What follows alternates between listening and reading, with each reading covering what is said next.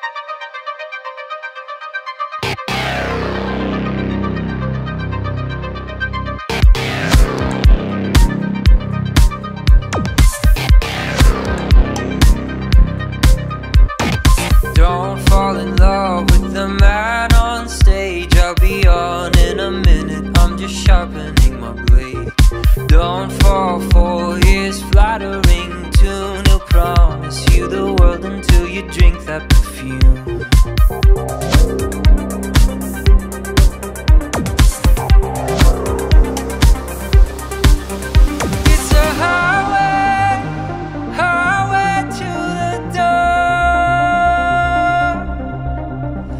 when you